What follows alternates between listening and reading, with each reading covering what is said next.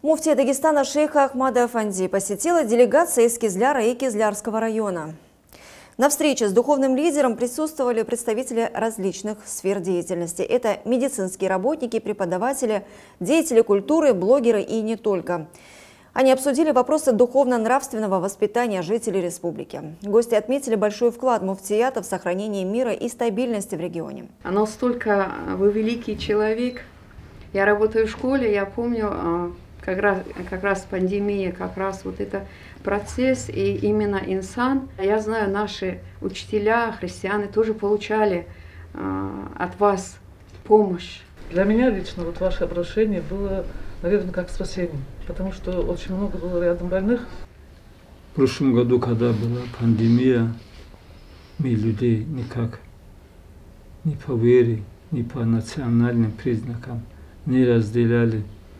Мы все раби Всевышнего.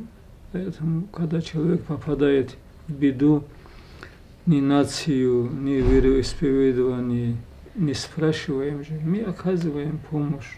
Алхамдулилля, за такие поступки, конечно, иногда чуть-чуть радуюсь. Делегацию сопровождал председатель Совета имамов города Кизляр и Кизлярского района Мурат Исмаилов. И в ходе беседы муфти региона сделал ряд наставлений.